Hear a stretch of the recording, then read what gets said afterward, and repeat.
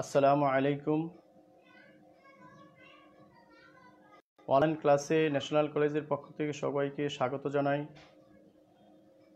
সকল নবম, দশম শ্রেণির শিক্ষার্থীদের আজকে পদার্থবিজ্ঞানের অষ্টম অধ্যায়ের আলোর প্রতিফলনের তৃতীয় অধ্যায় ক্লাস নেব। আমরা সবাই অবগত আছি, এখন রমজান মাস চলছে।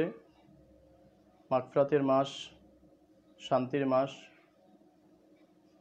এই মাস আজকে রোজা হচ্ছে বিশ রোজা। আর আমরা অনলাইন ক্লাস নিচ্ছি সেই করোনার পরিস্থিতির কারণে, এই প্রাকৃতিক দুর্যোগের কারণে। সুতরাং এর ভিতরেই আমাদের অনলাইন ক্লাস চালিয়ে যেতে হবে প্লাস সকল স্টুডেন্টদেরকে আহ্বান করব, অবশ্যই যেন বাসায় বসে অনলাইন ক্লাসগুলি দেখে, খাতায় অবশ্যই লিখে সেটা ভালো করে চর্চা করার জন্য। পাশাপাশি তোমাদের গাইড বই বা অন্যান্য সহায়ক বই মেন বই ভালো করে পড়বে।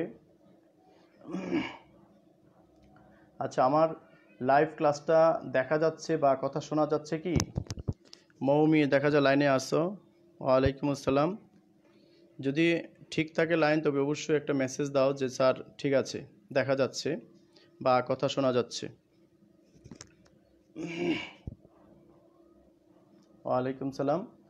তা আমি আলোর প্রতিফলনের সংজ্ঞা প্রথম ক্লাসে শিখিয়েছি আলোর প্রতিফলন কয় ধরনের হয় সেটা অবশ্যই মনে আছে সবার। আর দ্বিতীয় ক্লাসে শিখিয়েছিলাম প্রতিবিম্ব। প্রতিবিম্ব সেটা কি? লক্ষ্যবস্তুর মানে কোনো বস্তু যদি দর্পণের সামনে দাঁড়িয়ে থাকে সেটা হলো লক্ষ্যবস্তু। দর্পণের ভিতরে যে ছবি দেখা যায় সেটা হলো প্রতিবিম্ব। আর সমতল দর্পণের প্রতিবিম্ব সম্পর্কে আমরা পড়িয়েছি। সুতরাং আজকে আমরা প্রতিবিম্ব গত ক্লাসে পড়েছি সমতল দর্পণের এবং বৈশিষ্ট্য সহ কিছু। আর আজকে দেখাবো গুলীয় দর্পণের প্রতিবিম্ব কীভাবে হয়। আর সেটা অবশ্যই বোর্ডে দেখাবো না, স্লাইডে দেখাবো। এই জন্য দেখাবো যাতে ছবিগুলি সুন্দর দেখা যায়।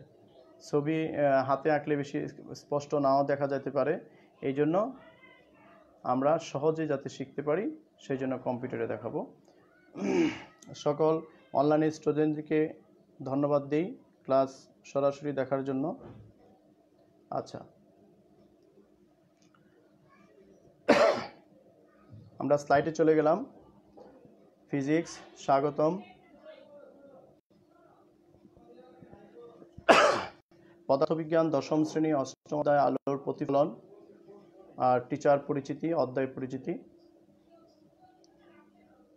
আজকের বিষয় হচ্ছে গুলীয় দর্পণের প্রতিবিম্ব বা প্রতিচ্ছবি গুলীয় দর্পণের প্রতিচ্ছবি কীভাবে হয়? আমরা এটা অবগত আছি। অনেকে জানি, যদি অনেকে অনুবীক্ষণ যন্ত্রে ছোট্ট একটা পরমাণু যা খালি চোখে দেখা যায় না, কিন্তু অনুবীক্ষণ অনুবীক্ষণ যন্ত্রে দেখা যায়, সেটা কেন দেখা যায়? তার মানে ওখানে কি ব্যবহার করা হয়? সেটা হচ্ছে লেন্স ব্যবহার করা হয়। অবতল দর্পণ গ্লিয় দর্পণ, উতল দর্পণ, এরকম লেন্স ব্যবহার করা হয়, যা অনেক ছোট্ট জিনিসটাকে অনেক বড় দেখা যায়। সেটা কিছুটা গুলীয় দর্পণে দেখা যাবে যে প্রতিবিম্ব ছোট কিন্তু সরি লক্ষ্যবস্তু ছোট কিন্তু প্রতিবিম্ব অনেক বড়। আর বাস্তব প্রতিবিম্ব অবতল দর্পণে হয় একই পার্শ্বে, আর বিপরীত পার্শ্বে হয় অবাস্তব। এই তথ্যগুলি কিন্তু মনে রাখতে হবে। অবতল দর্পণে প্রতিবিম্ব। আজকে আমরা শিখব আলোক রশ্মি ক্রিয়া রেখার অঙ্কন করতে পারব। আলোক যে প্রতিফলন যে হবে গুলীয় দর্পণে সেটার রেখাগুলি কীভাবে অঙ্কন করব? যে প্রতিফলন তৈরি হওয়ার জন্য রেখা বা চিত্র কীভাবে আঁকবো, আর গুলীয় দর্পণের প্রতিবিম্বের বর্ণনা কীভাবে দিব? আমি স্লাইডে কিন্তু সে তোমাদের বর্ণনা লিখি নাই, কিন্তু চিত্রগুলি সুন্দর করে একে দেখাইয়ে দিয়েছি আর বর্ণনাগুলি বইয়ে আছে, একটু দেখে নিবে। আর আমার কথার সাথে যদি, কথার সাথে যদি চিত্র দেখে নাও, তবে আমার কথার অনুরূপ যদি তুমি লেখো, তাও বর্ণনাটা হয়ে যাবে ইনশাআল্লাহ। আচ্ছা আমরা এখানে দেখতেছি একটা দর্পণ, সেটা হচ্ছে গুলীয় দর্পণ। যদি সিকে কেন্দ্র করে একটা বৃত্ত আঁকা হয়, এম এম প্রাইম অর্ধবৃত্ত চাপ। যদি বাইরে প্রলেপ থাকে, সেটা হচ্ছে অবতল। বাহিরে প্রলেপ থাকলে অবতল আর ভিতরে প্রলেপ থাকলে উত্তল, দর্পণ। দর্পণের ক্ষেত্রে একরকম। সাউন্ড কম। সাউন্ডটা তো আমি ইয়ারফোন লাগিয়ে দিচ্ছি। এখন কি আসতেছে?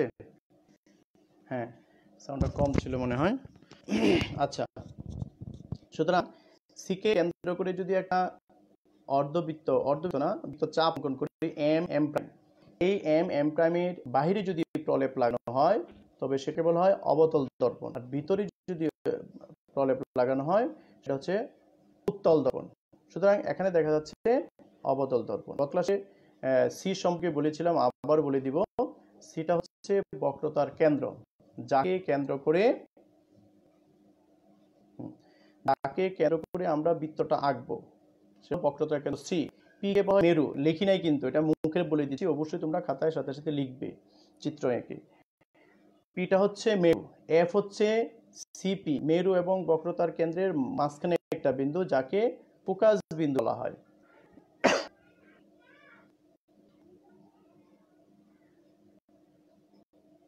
ফোকাস, আমরা লেখা শুরু করি নাই, এখানে তিনটা পরিচয় দিলাম।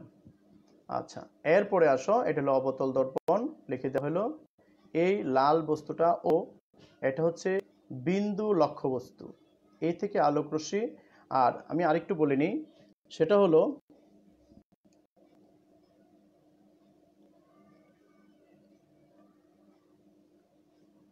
লেফট রাখব, না?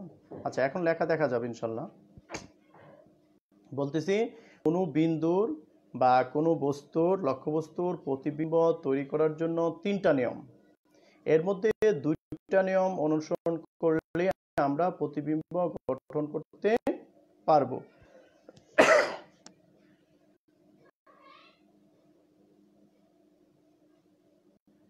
লেফট সাইড নিতে হবে। আচ্ছা। সুতরাং যেমন একটা যাবে সিপি হচ্ছে প্রধান অক্ষর প্রধান অক্ষর সমান্তাল একটা আলোকরশ্মি যদি যায় ফোকাসের ভিতর দিয়ে বেরিয়ে আসবে। এটা একটা আলোকরশ্মি নির্গমনের প্রক্রিয়া। আরেকটা হচ্ছে ফোকাসের ভিতর দিয়ে যাবে, প্রধান অক্ষর সমান্তরালে বেরিয়ে আসলো। একটা লাল রশ্মি, একটা হলো কি কালার? বেগুনি। সুতরাং এই দুই রশ্মি দিয়ে আমরা প্রতিবিম্ব তৈরি করতে পারব। আমি আবার বলি ও থেকে একটা আলোক রশ্মি, তোমরা কিন্তু এই বলতে এম, বিন্দুতে আপতিত হয়ে এম, এখানে নাম দিয়ে নিও, এস পথে প্রতিফলিত হয়। ও থেকে আরেকটি আলোক রশ্মি, ফোকাসের মধ্য দিয়ে আপতিত হয়ে প্রণকের সমান্তরালে প্রতিফলন হয়। প্রতিফলিত রশ্মি এই আই বিন্দুতে মিলিত হবে। আমি নাম দিয়েছি পরের স্লাইডগুলোতে। আই বিন্দু হচ্ছে, সুতরাং এই বিন্দুটা হচ্ছে ও বিন্দুর বাস্তব প্রতিবিম্ব এটা অবতল দর্পণের ক্ষেত্রে। অনুরূপভাবে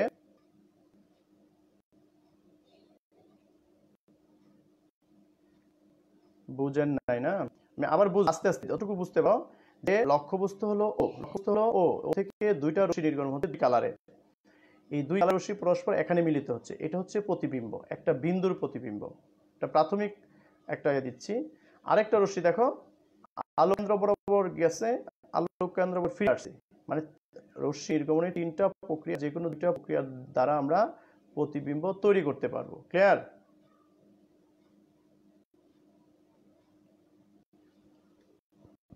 রাইট আমি তো দেখতেছি সম্পূর্ণ ছবি দেখা যাচ্ছে। রাইট রাইটে নিব কেন? তো দেখা যাচ্ছে। আচ্ছা। এরপরে আরেকটা দর্পণ। আমি বলছিলাম যাকে কেন্দ্রের ভিতরে যদি প্রলেপ থাকে, সেটা হচ্ছে উত্তল উত্তল দর্পণ একই রকম। আপাতিত রশ্মি সমান্তরাল গেল, এই সমান্তরে যায়। একটা হচ্ছে তির্যকভাবে একটা হচ্ছে সমান্তরালভাবে ও যদি পিছন দিকে বর্ধিত করা হয়, তবে এফ বিন্দু তৈরি হয়। এই এফ বিন্দুটা হচ্ছে অবাস্তব প্রতিবিম্ব। ছবি দেখা যায় না। এটি ক্যামেরার বাইরে পড়ে আমার কম্পিউটারে দেখা যাচ্ছে বা মোবাইলে দেখা যাচ্ছে, কিন্তু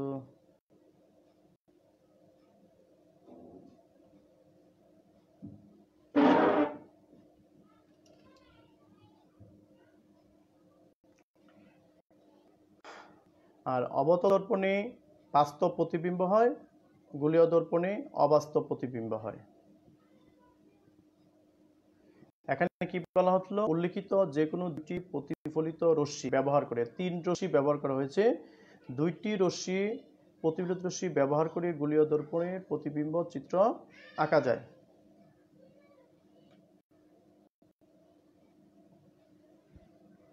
ঠিক আছে, পিকচার। Thank you.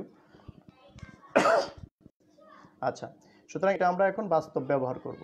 আমরা প্রথম চিত্রে চলে যাই। একটা প্রশ্ন, মনে করো পরীক্ষায় আসতে পারে যে, এখানে একটু বলিনি এটা অবতল দর্পণ পি হচ্ছে মেরু এফ ফোকাস ফোকাস বিন্দু সি হচ্ছে বক্রতা কেন্দ্র।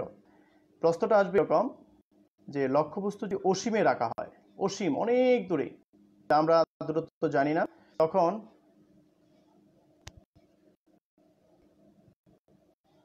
বাম দিকে বেশি ছড়ালে তো ডান দিকে দেখা যাবে না। আচ্ছা বলতেছি, অসীম দূরে লাল একটা বস্তু দেখা যাচ্ছে, সেটা হলো একটা লক্ষ্যবস্তু। এ থেকে দুই ধরনের রশ্মি নির্গতিত হচ্ছে। লক্ষ্যবস্তু অসীম দূরত্বে বলা আছে, তাই না? একটা মেরুতে আপতিত হলো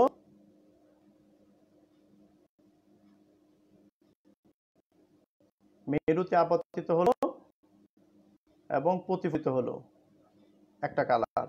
আরেকটা হচ্ছে আলো কেন্দ্র দিয়ে যাচ্ছে এখন। আরেকটা হচ্ছে আলো কেন্দ্র দিয়ে যাচ্ছে, আলো কেন্দ্রে ফিরে আসছে। এই লক্ষ্যবস্তুর প্রতিবিম্ব হচ্ছে এই লাল অংশটুকু। সুতরাং অসীমে এটা বেশি আনা পরীক্ষায় একটা চিত্র দেখালাম। অসীমে যদি চিত্র লক্ষ্যবস্তু রাখা হয়, তবে বিম্ব হয় কি? খর্বিত, ছোট্ট। এটাকে উল্টা, আর অবতল দর্পণে মনে রাখতে হবে সবসময় বাস্তব প্রতিবিম্ব একই পাশে উল্টা হয়। আর এটা তিনটা বৈশিষ্ট্য লিখতে হবে, অবস্থান। অবস্থানটা কোথায়? ফোকাস তলে ফোকাস তলে আছে, দেখো। অবস্থানটা কোথায়? কিসের অবস্থান? প্রতিবিম্বের অবস্থান, ফোকাস তলে। প্রতিবিম্বের প্রকৃতি, বাস্তব উল্টা, বাস্তব চিত্র কিন্তু উল্টা। আকৃতি অত্যন্ত খর্বিত, ছোট, যদিও দেখা যাচ্ছে বেশি ছোট দেখা যায় না অনেক অনেক ছোট হবে। সুতরাং আমরা প্রত্যেকটা অবদল চিত্রগুলি তিনটা বৈশিষ্ট্য শেষে লিখে দিতে হবে। অবস্থান, কোথায় আছে প্রতিবিম্বটা, প্রকৃতি, বাস্তব না উল্টা কিনা, অবশ্যই বাস্তব, উল্টা। আর আকৃতি কীরকম? বড় না ছোট? খর্বিত মানে ছোট, অত্যন্ত ছোট। ক্লিয়ার আর দ্বিতীয় স্লাইড যে স্লাইডগুলি বেশি ইম্পর্টেন্ট সেগুলি। সেটা অবশ্যই বই থেকে, বইয়ে কিন্তু আছে অবশ্যই। এখন এই এই চিত্রটা খুবই ইম্পর্টেন্ট এর নামগুলি আমি সব দিয়ে দিয়েছি। যে লক্ষ্যবস্তু অসীম ও বক্রতার ক্ষেত্রে মাঝখানে অসীমে কিন্তু।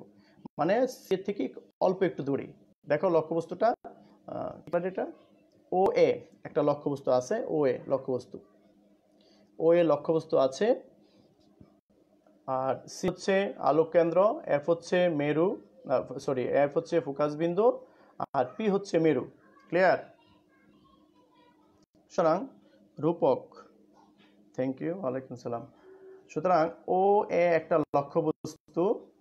দুইটা রশ্মি নির্গমন, আমরা তো বলছি প্রথমে, দুই ধরনের রশ্মি নির্গমন দ্বারা আমরা প্রতিবিম্ব তৈরি করব। একটা হচ্ছে, এখানে একটা নাম দিয়ে নিতে হবে, এম। দেন, এ, এম একটি আপাতিত রশ্মি দর্পণে এম বিন্দুতে আপাতিত হয়ে ফোকাসের মধ্য দিয়ে প্রতিফলিত হয়। শুধু এটুকু লিখলে হবে। অপরে আরেকটি আলোক রশ্মি ফোকাসের মধ্য দিয়ে আপতিত হয়ে প্রধান অক্ষের সন্দরে প্রতিফলন হয়। এই প্রতিফলিত রশ্মিদ্বয় বি বিন্দুতে মিলিত হবে। সুতরাং এ বিন্দুর বাস্তব প্রতিবিম্ব বি এবং বি থেকে প্রধান অক্ষের উপর আই বি লম্ব আঁকি। তাহলে আই বি হবে বি, আই হবে ও এর বাস্তব প্রতিবিম্ব। এই বর্ণনা, এই চিত্রের বর্ণনা শেষ। এই রকম সকল চিত্রের বর্ণনা লিখতে হবে।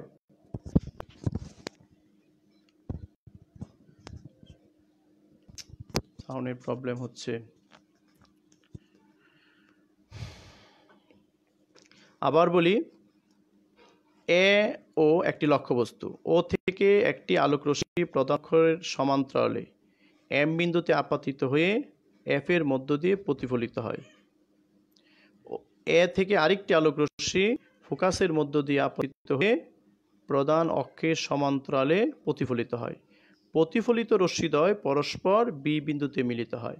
বি বি বিন্দুতে প্রধান অক্ষরের পর বি আই লম্ব আঁকি। তাহলে ও এর বিম্ব হচ্ছে আইবি ক্লিয়ার এখন আমরা দেখি তো যে প্রতিবিম্বের অবস্থানটা কোথায়? অবস্থানটা হচ্ছে সি এবং এফ এর মাঝখানে। সি হচ্ছে আলোক কেন্দ্র এফ হচ্ছে ফোকাস বিন্দু। এর মধ্যে। প্রকৃতি রকম বাস্তব এবং উল্টা। বাস্তব এবং উল্টা। আকৃতি গর্বিত এটাও কিন্তু তার মানে কি? এফ সি পর্যন্ত সির আগ পর্যন্ত ছোট হতে থাকবে। যখন সিতে চলে যাবে, তখন সমান হয়ে যাবে। যখন সি থেকে ভিতরে ঢুকবে এফ সি এবং এফ এর আসবে তখনই প্রতিবিম্ব আস্তে আস্তে বড় হতে থাকবে। চিত্র ভালো করে আলফা কিন্তু। এরপর চিত্রগুলি। যখনই সিতে রাখা হবে, তখন লক্ষ্যবস্তু প্রতিবিম্ব সমান হবে। যখনই সি থেকে ভিতরে ঢুকবে এফের মধ্যে থাকবে, তখন প্রতিবিম্ব বড় হবে। যখন এফ এর এবং মেরুর মাঝখানে আসবে, তখনই অবাস্তব প্রতিবিম্ব সৃষ্টি হবে।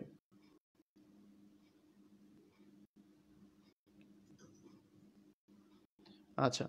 সুতরাং আমরা অসীম অসীম ও বক্রতার কেন্দ্রের মধ্যে যদি রাখা হয়, তবে প্রতিবিম্ব কীরকম হবে সেটা বুঝতে পারছি অবশ্যই।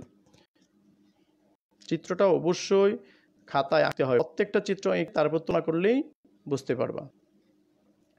এটা দেখো, আমরা লক্ষ্যবস্তুটা সিতে রেখেছি। সিতে লক্ষ্যবস্তু রাখা আছে। প্লাসে লক্ষ্যবস্তু বক্রতার কেন্দ্রে যদি থাকে।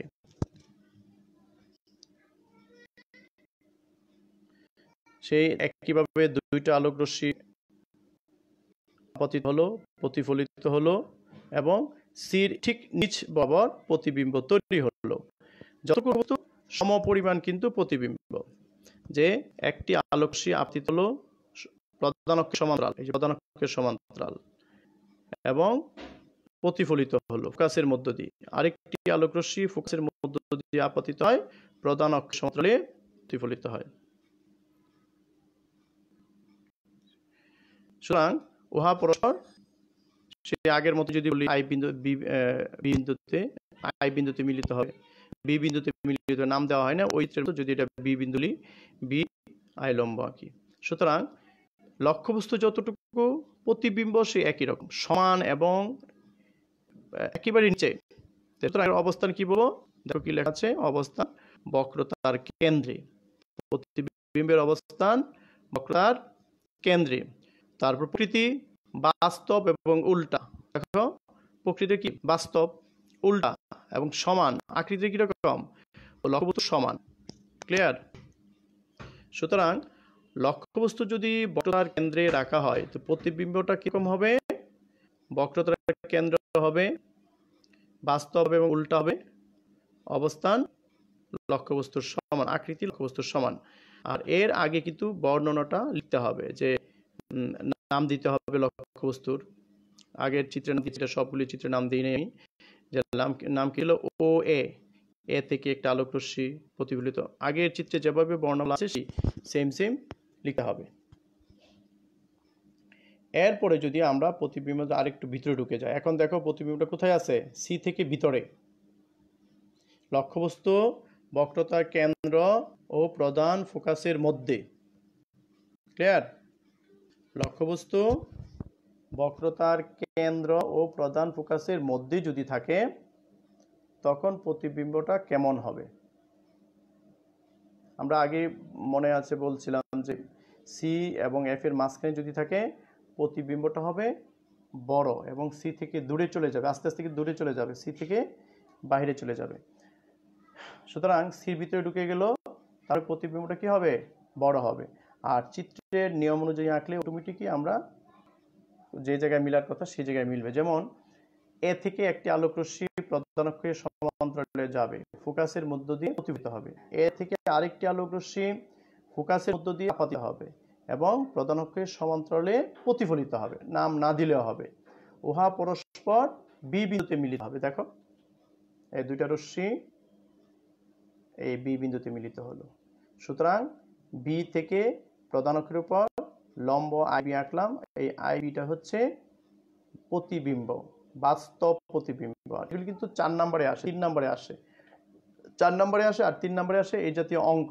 আর অঙ্কের জন্য বলে রাখি, আমি একটা পেজে লিখে দিয়েছি যে ও, এ লক্ষ্যবস্তু, দৈর্ঘ্য স্মল এল আইবি প্রতিবিম্বের দৈর্ঘ্য small L prime F P focus দূরত্ব স্মল এফ দ্বারা প্রকাশ করা হয়, সেটা হলো স্মল এফ এফ পি পিটা হচ্ছে মেরু।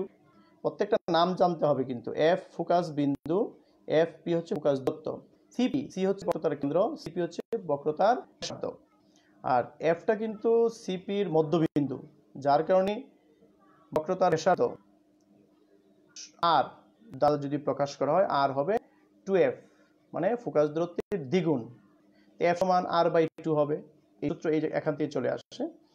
আর ও এ লক্ষ্যবস্তু থেকে মেরুর যে দূরত্ব, সেটা হচ্ছে লক্ষ্যবস্তুর দূরত্ব। ও হচ্ছে দৈর্ঘ্য, ওটা হচ্ছে দূরত্ব। দূরত্বকে ইউ দ্বারা প্রকাশ করা হয়। আর প্রতিবিম্বের দূরত্বকে, প্রতিবিম্ব দূরত্ব কোনটা?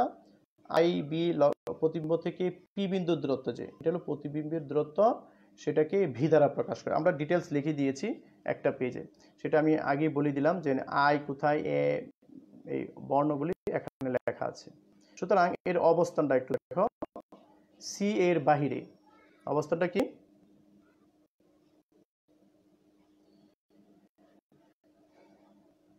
অবস্থানটা কোথায়? প্রতিবিম্বের বক্রতার কেন্দ্র সি থেকে বাহিরে। প্রকৃতি রকম বাস্তব, অবশ্যই বাস্তব এবং উল্টা। আমরা প্রথমেই বলে নিচ্ছি এফ এর আগ পর্যন্ত সকল প্রতিবিম্বই বাস্তব হবে এবং উল্টা হবে। ক্লিয়ার এফ এর বাইরে যদি লক্ষ্যবস্তু থাকে সি এর বাইরে যদি থাকে খারাপ হবে। সি এর ভিতরে ঢুকলেই বিবর্ধিত হবে। দেখো, লেখা আছে কি? আকৃতি বিবর্ধিত মানে বড়। ও এর তুলনায় আইবি বড়, প্রতিবিম্বটা বড়। ক্লিয়ার সুতরাং এই চিত্রগুলি খাতায় আঁকতে হবে, খুবই ইম্পর্টেন্ট এরপরে চলে যায়, যদি লক্ষ্যবস্তুটা আরও ভিতরে ঢুকে যায়। এখন দেখো লক্ষ্যবস্তুটা কোথায় রাখা আছে? প্রধান ফোকাসে যদি রাখি।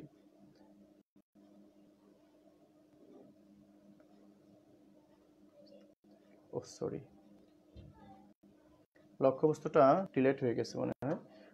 লক্ষ্যবস্তুটা আছে এখানে।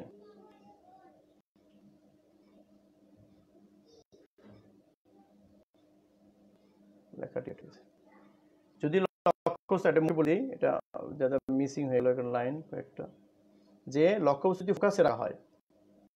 এই যে প্রধান এই এখানের ফোকাস এই যে এখানে এখানে যদি লক্ষ্যবস্তু রাখা হয়, ঠিক আছে, আমি দেখিলাম এখানে চিত্রটা হবে লাইনটা আঁকা যায় নাই, ছিল ডিলেট হয়ে গেছে কীভাবে? তো এই লক্ষ্যবস্তু যে রাখা হয় প্রধান অক্ষের সমান্তরালে যায়, তারপর এখানে হলো ফোকাস বিন্দু ফোকাস বিন্দু দিয়ে আপাত প্রতিফলিত হয়।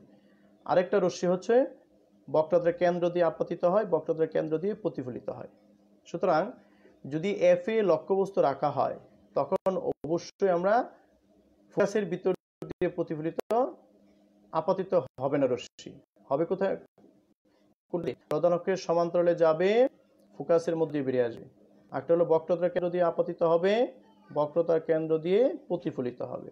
এই প্রতিফলিত রশ্মিদ্বয় এখানে মিলিত হলো। সুতরাং লক্ষ্যবস্তুর প্রতিবিম্বটা কোথায় হলো?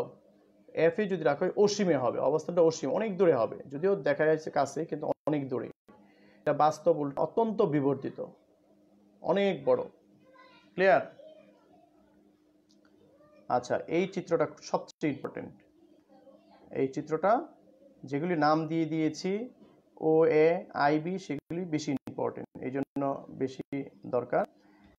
যে লক্ষ্যবস্তুটা দেখো এফ এর ভিতর এফ এবং পি ফোকাস বিন্দু ও মেরুর মাঝখানে লক্ষ্যবস্তু ও এ আছে। সেই ক্ষেত্রে প্রতিবিম্বটা কীরকম হবে? আমি বলা হয়েছিল প্রথমে, আবার এফ থেকে যদি ঢুকে যায়, অবাস্তব প্রতিবিম্ব হবে। অবাস্তব অবদল দর্পণে আসে গো নাম্বারে অবদল দর্পণে কি অবাস্তব প্রতিবিম্ব তৈরি করা সম্ভব? তখন বলতে হবে, অবশ্যই সম্ভব, সেটা এই চিত্রের মাধ্যমে ব্যাখ্যা করে দিয়ে হবে। যে লক্ষ্যবস্তু যদি ফোকাসের এবং মেরুর মাঝখানে কোথাও রাখা হয়। যেমন আমরা রেখেছি, ও একটা লক্ষ্যবস্তু, অবতল দর্পণ, দুইটা লোকরশ্মি যাচ্ছে প্রতিফলিত হচ্ছে। দুইটা রশ্মি কীরকম এখানে তিনটা দেখানো হয়েছে। তোমরা তিনটা হতে পারো। আচ্ছা দুইটা রশ্মি হচ্ছে, একটা হচ্ছে প্রধানকে সমান্তরালে গেল, কালো রশ্মিটা ফোকাসের ভিতর দিয়ে চলে আসলো। আর একটা রশ্মি হচ্ছে বক্রতার কেন্দ্র দিয়ে যাবে বক্রতার কেন্দ্র দিয়ে ফিরে আসবে। এই রশ্মি দুটি যদি বাড়ায় দিই আমরা, এখানে কোনো মিলিত করতে পারব? আরও ফাঁকা হয়ে যাবে, সুতরাং মিলিত হবে না। এই রশ্মি দুটি পিছন দিকে বর্ধিত করে, এখানে মিলিত হবে। আরেকটা রশ্মি দেখা যায়, উপরে আছে, ওটা না দিলে হবে যে, এই রশ্মিটা আমরা দুইটা রশ্মি দিলে হবে। একটা হচ্ছে প্রধান অক্ষের সমান্তরে যায় কালো রশ্মিটা ফোকাসের ভিতর দিয়ে প্রতিফলিত হয়। আরেকটি লাল গোলাপি কালারের ওই রশ্মিটা ফোকাসের ভিতর দিয়ে আপতিত হবে এই সরি বক্রতার কেন্দ্র দিয়ে আপতিত হবে বক্রতার কেন্দ্র দিয়েই প্রতিফলিত হবে।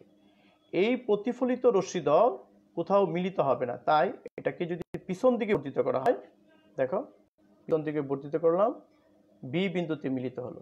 সুতরাং বি বিন্দু হচ্ছে এ বিন্দুর অবাস্তব প্রতিবিম্ব। বিম্ব বাস্তব খেয়াল করতে হবে কিন্তু যে এ বিন্দুর অবাস্তব প্রতিবিম্ব হচ্ছে বি এখন বি থেকে যদি প্রধান অক্ষরের উপর লম্ব টানি আই বি আই সেটা হচ্ছে প্রতিবিম্ব। ক্লিয়ার লক্ষ্যবস্তু প্রতিবিম্ব। অবাস্তব প্রতিবিম্ব কোথায় তৈরি হলো? অবতল দর্পণের পিছনে। সামনের দিকে না, কিন্তু পিছনে। আর বাস্তব হয় সবসময় সামনের দিকে, একই দিকে। যেদিকে লক্ষ্যবস্তু সেদিকে। আর লক্ষ্যবস্তুর বিপরীত দিকে হয় অবাস্তব।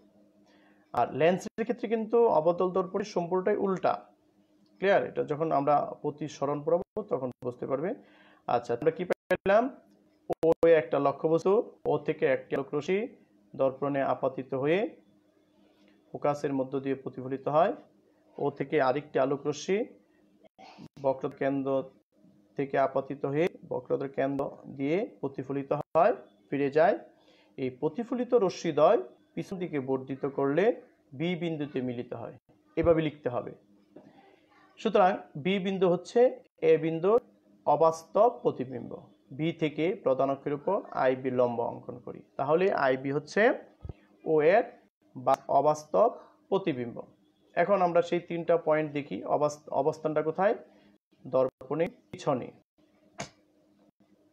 আর তুমি লিখতে পারো, যেদিকে লক্ষ্যবস্তু আছে, তার বিপরীত পাশে, সেটা লিখলে হয় যেদিকে লক্ষ্যবস্তু আছে, তার বিপরীত পাশে অবস্থান। তারপর হচ্ছে প্রকৃতি অবাস্তব সোজা। এতক্ষণ আমরা যতগুলি স্লাইড দেখিয়েছি, সব ছিল উল্টা। আর এখন প্রতিবিম্বটা হচ্ছে সোজা। ক্লিয়ার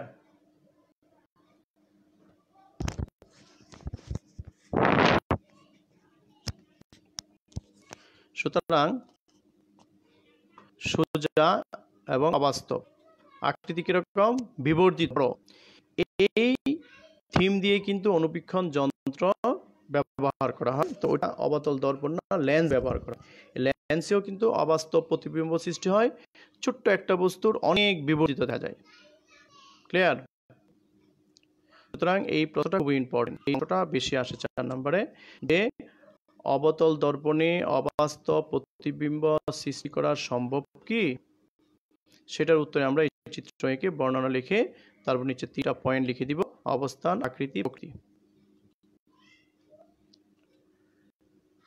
তারপর উত্তল দর্পণে যদি একটা চিত্র আঁকি, আমরা কেমন হবে?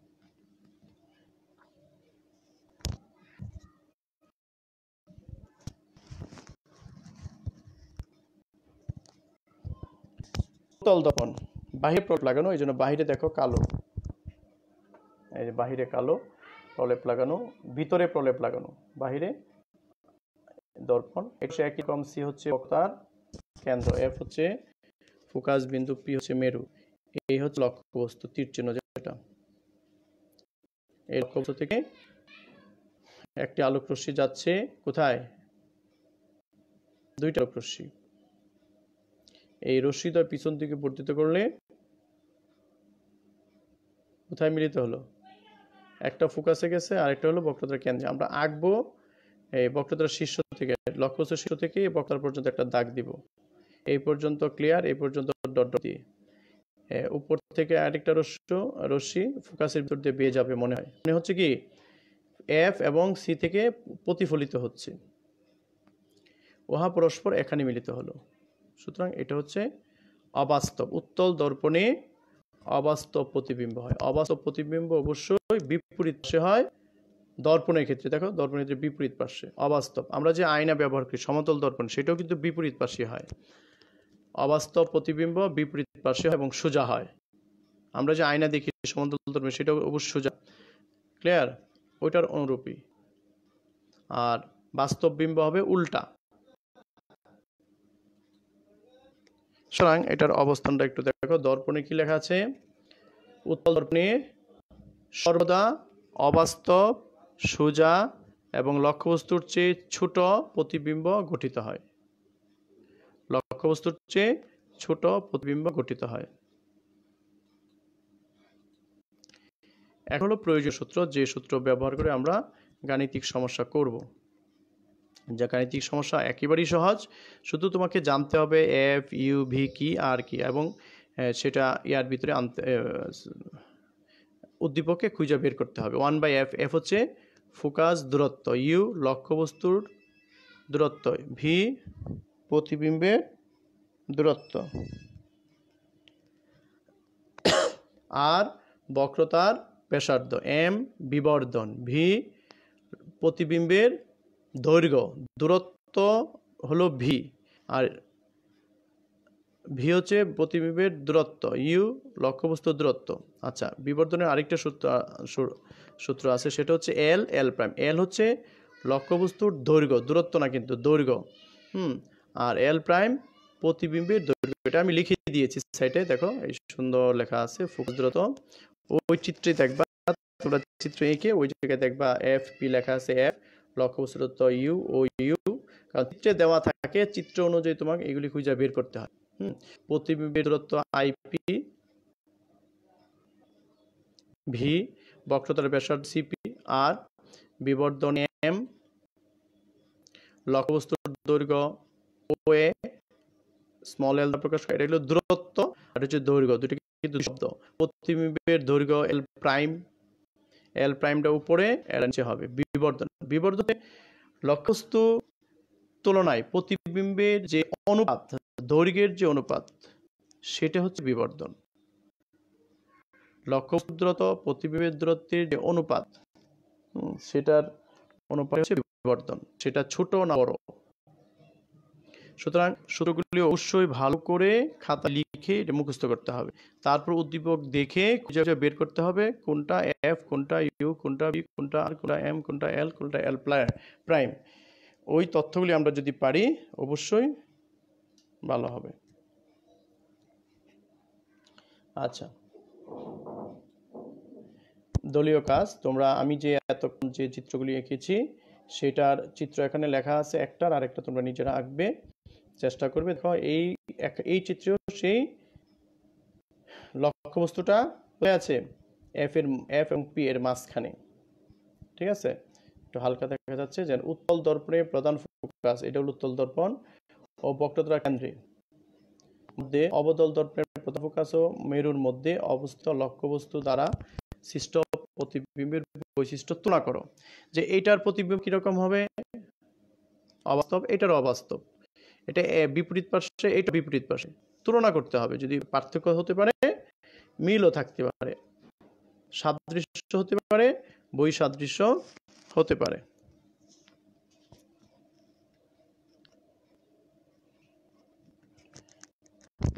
আগের স্লাইডটি হবে এই স্লাইড। উত্তল দর্পণ উত্তল দর্পণ কিন্তু ইম্পর্টেন্ট কম। প্রতিভা আসে না। কিন্তু এটা। অবশ্যই স্লাইড নাকি?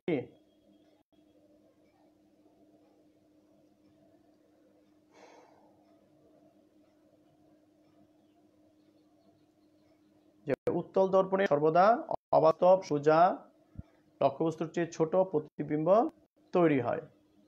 লক্ষ্যবস্তুটা ছিল এটার উত্তল দর্পণ। কোনটা? এর এর পরেরটা, আগেরটা? পরেরটা। এক্ষেত্রে তো স্লাইড নেই। শুধু বর্ণা ও, বুঝতে পারছি। এই বিবরণ দেখার জন্য। বিবরণটা তো পরেও ভিডিওতে দেখা যাবে। তারপরে একটু দেখো লিখে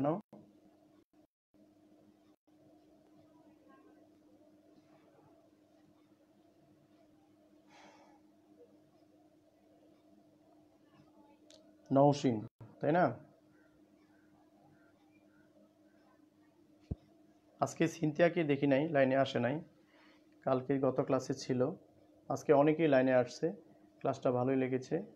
যদি তোমরা উপকৃত হও, ছবি। জি স্যার। আচ্ছা এটা কি কমপ্লিট লেখা হয়েছে? আমি কি সামনে আগাবো? পরেও দেখতে পারবা নামগুলি। আর এই পেজটা কিন্তু খুবই গুরুত্বপূর্ণ। কারণ আমরা ফিজিক্সের গ, ঘতে যে অঙ্কগুলি পাই, সেই অঙ্কগুলি সম্পূর্ণ সূত্রের উপর নির্ভরশীল। সূত্র যদি জানা থাকে এবং কোনটা কি, প্রতীকের মিনিংটা যদি জানি, বিষয়টা কি, তবে আমরা অনায়াসে উদ্দীপক থেকে সেটা খুঁজে খুঁজে বের করতে পারব।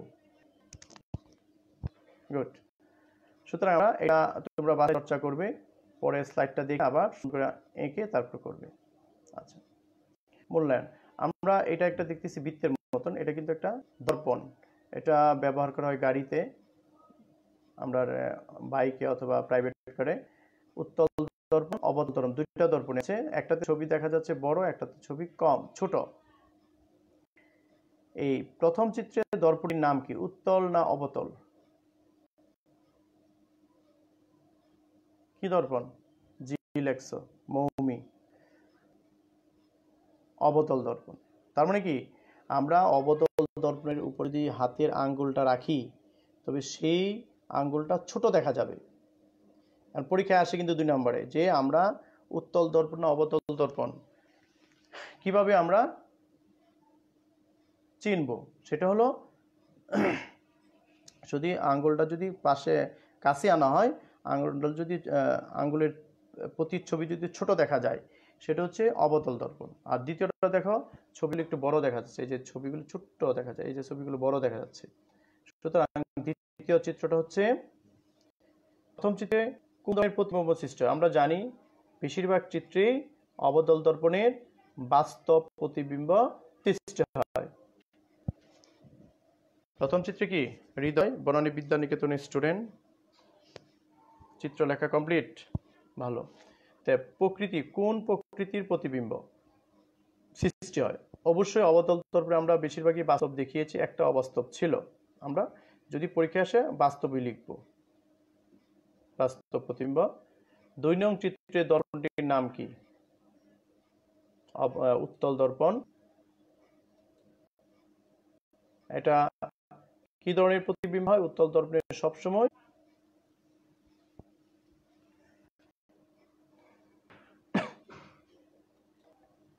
আচ্ছা বাড়ির কাজ। দেখো, এই চিত্রটা কিন্তু আমি আগে বর্ণনা দিয়েছি। এরকম চিত্রটাই তোমরা সম্পূর্ণ এই প্রশ্নের উত্তরগুলি দিবে। প্রধান অক্ষ কাকে বলে? এই যে প্রধান অক্ষ সি এফ পি এটা হলো প্রধান অক্ষ। ঠিক আছে? গলীয় দর্পণের বৈশিষ্ট্য, আগের ক্লাস দেখিয়েছি, গলীয় দর্পণের বৈশিষ্ট্য কি? প্রতিবিম্ব কীরকম হয়? বা কোন পাশে প্রতিবিম্ব হয় সেই সম্পূর্ণ খ নম্বর। গ নম্বর, একটা সৃজনশীল চিত্রের সৃষ্ট প্রতিবিম্বের অবস্থান, আকৃতি, প্রকৃতি বর্ণনা দাও। চিত্রের প্রতিবিম্ব, এই যে এ বি হলো একটা কি? লক্ষ্যবস্তু। এর প্রতিবিম্ব হচ্ছে এখানে এ বি লেখা আছে, তোমরা এ প্রাইম বি প্রাইম দিয়ে নিবে। প্রতিবিম্বের নাম কি দিতে হবে? এ প্রাইম বি প্রাইম এটার অবস্থান কোথায়? আকৃতি, প্রকৃতি। আগে বর্ণনা দিতে হবে। প্রধানকের সমান্তর যাচ্ছে, ফোকাসের ভিতর দিয়ে আপতি প্রতিফলিত হয়। ফোকাসের মধ্য দিয়ে আপতিত হয় প্রধানকের সমান্তরাল দিয়ে প্রতিফলিত হয়। প্রতিফলিত রশ্মিত হয় পরস্পর, এ প্রাইম বিন্দুতে মিলিত হয়। কথাগুলি লিখতে হবে। এ প্রাইম থেকে প্রধানকের উপর, এ প্রাইম, বি প্রাইম লম্ব অঙ্কন করি। তাহলে এ হচ্ছে লক্ষ্যবস্তুর এ প্রাইম, বি প্রাইম হচ্ছে লক্ষ্য বি এর বাস্তব প্রতিবিম্ব। তারপর হলো আকৃতি অবস্থান লিখব, সি কে দুই, প্রকৃতি লিখব বাস্তব উল্টা। আকৃতি লিখব বিবর্তিত। শেষ। প্রতিবিম্বের আকার লক্ষ্যবস্তুর অবস্থানের উপর নির্ভরশীল। তার মানে কি? আমরা যে চিত্র দেখিয়েছি, অনেক এর মধ্যে যে কোনো দুইটা বা তিন চিত্র এঁকে বুঝিয়ে দিতে হবে। যে আমরা লক্ষ্যবস্তু যদি সি থেকে দূরে রাখি, অসীম থেকে কাছে রাখি, তখন প্রতিবিম্ব কীরকম হয়? সিতে রাখলে লক্ষ্যবস্তুর সমান হয়। সি এফ এর মাঝখানে রাখলে লক্ষ্যবস্তু প্রতিবিম্ব হয়, এখানে দেখা আছে। যদি এফ এর ভিতরে ঢুকে যায় অবাস্তব প্রতিবিম্ব হবে দুইটা বা তিনটা চিত্র এঁকে বুঝাই দিলেই হবে। তখন বুঝতে বুঝতে হবে যে লক্ষ্যবস্তুর উপর নির্ভর করে প্রতিবিম্ব। এই বলা হয়েছে উচ্চতর দক্ষতায় হ্যাঁ যে প্রতিবিম্বের আকার, লক্ষ্যবস্তুর আকারের উপর নির্ভরশীল। বিশ্লেষণ করো। সুতরাং বাড়ির কাছে ভালো করে ধন্যবাদ। সবাই ভালো থেকো। আজকে পর্যন্তই। খুদা হাফেজ। আসসালামু আলাইকুম।